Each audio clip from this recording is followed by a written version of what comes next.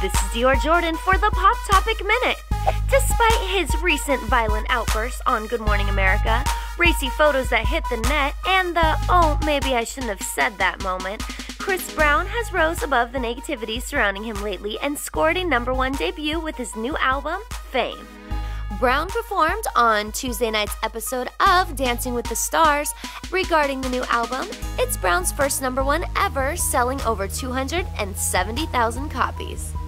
Note to Britney Spears, whose new album, Femme Fatale, dropped on Tuesday.